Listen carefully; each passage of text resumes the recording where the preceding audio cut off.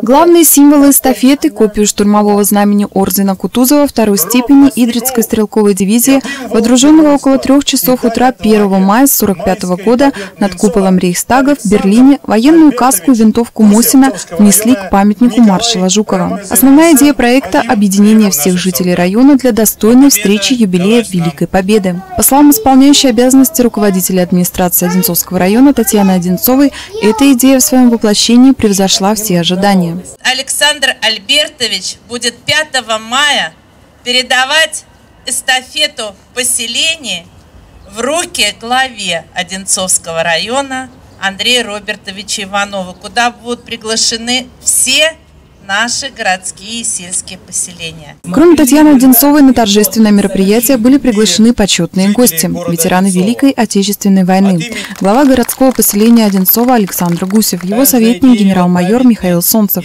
начальник управления образования Ольга Ляпистова, председатель Совета ветеранов местной общественной организации «Союз ветеранов стратегических ракетчиков» Виктор Прокопеня. Каждое поселение, принимающее эстафету, проводило на своих площадках цикл масштабных мероприятий. Среди них исторические тематические реконструкции, концерты с песнями военных лет, кинопросмотры, лекции, экскурсии для школьников, встречи с участниками войны и многое другое. Все это в течение этой недели будет проводиться и на Одинцовской земле.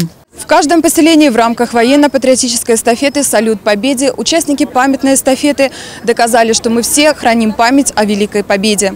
Мы всегда будем помнить этот героический подвиг. Вечная слава героям и тем, кто не дожил до наших дней. После минуты молчания к памятнику маршала Жукова участники митинга возложили цветы. Хочу доложить всему Одинцовскому району, что муниципальный проект – Андрея Робертовича Иванова «Салют Победе» эстафета поселения в Одинцовском районе завершается. Конечно же, она будет завершаться 5 мая на гала-концерте в волейбольном центре, когда Андрей Робертович примет символы эстафеты в свои руки и передаст Кривеческий музей.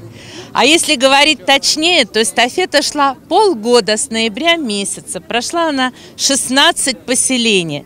Что это такое? Это было 16 митингов, это было 16 гала-концертов.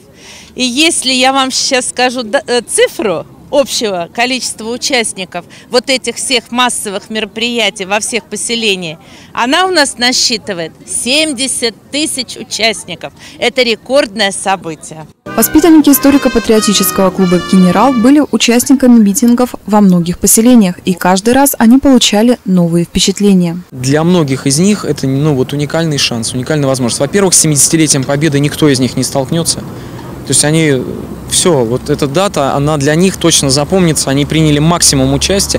Я надеюсь, что у большинства из тех, кто сейчас стоит за моей спиной, будет возможность 15-16 числа оказаться в Бресте, там, где пограничники встречали грудью врага, и там в форме такой же, да, ну, отдать почести. Это тоже какое-то вот культовое, знаковое событие. Эстафета завершится встречей ветеранов Одинцовского района в музее на Поклонной горе. А 5 мая в волейбольно-спортивном комплексе города пройдет масштабный гала-концерт. Мила Тарасевич, Леонид Бурдин, телекомпания «Одинцова».